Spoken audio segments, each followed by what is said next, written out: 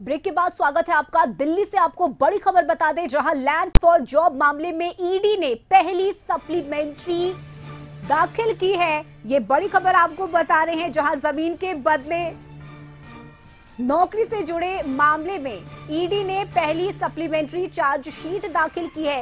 ED ने 1000 page की supplementary chargesheet में राजद के नेता तेजस्वी यादव, लालू यादव समेत 11 लोगों को आरोपी बनाया है और अब इस मामले की अगली सुनवाई राउज एवेन्यू कोर्ट में 13 अगस्त को होगी। ये बड़ी खबर आपको बता रहे हैं। ज़मीन के बदले नौकरी मामले में ईडी की तरफ़ से पहली सप्लीमेंट्री चार्जशीट दाखिल की गई है और ज़्यादा जानकारी लिए दिल्ली से सहयोगी अंकित इस वक्त हमारे साथ जुड़ गए हैं।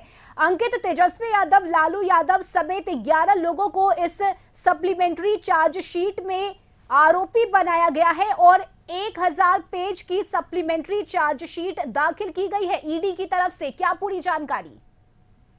रश्मि, देखिए, अगर हम बात करें कि ज़मीन के बदले नौकरी से जुड़े मनी लॉन्ड्रिंग का मामला केंद्रीय जाँच एजेंसी प्रवर्तन निर्देशालय, यानी ईडी ने सप्लीमेंट्री जो है वो दाखिल कर दी गई है जिसमें ईडी ने 1000 पेज की सप्लीमेंट्री चार्जशीट में राजद नेता तेजस्वी यादव लालू यादव समेत ग्यारह लोगों को आरोपी बनाया गया है। अब इस मामले की अगली सुनवाई राव जवेंद्र कोर्ट में तेरह अगस्त को होगी। इस मामले को लेके जदयू की ओर से भी कहीं ना कहीं सामने एक प्रतिक्रिया आई है।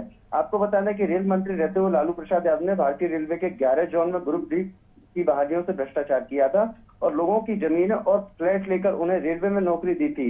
इस मामले की सीबीआई और ईडी दोनों जाँच कर रही थी। जाँच में यह बात सामने आई है कि लालू ने अपने परिवार और अपने परिवार के तमाम जो लोग हैं, उनके नाम पर इस जमीनों की रजिस्ट्री कराई थी। इस केस में सीबीआई और ईडी ने इस मामले में लालू प्रसाद यादव, उनकी पत्नी राबड़ी देवी, बेटी मीशा भारती, दूसरी बेटी हेमा यादव तेजस्वी यादव, तेज प्रताप यादव सहित कई आरोपी बनाए गए हैं। जिस तरीके से ईडी और सीबीआई ने मामले को भोला यादव, अमित कल्याण के अलावा लालू यादव, तेजस्वी यादव, राबड़ी यादव मीशा यादव, तमाम जो नाम सामने निकल कर आ रहे हैं, उस पर जो ग्यारह लोगों की जो चार्जशीट सप्लीमेंट्री दाखिल की गई है, अब उसकी अगली जो सुनवाई होगी, वो तेरह अगस्त को होगी। जी, बहुत शुक्रिया। अंकित, आपका तमाम जानकारी के लिए।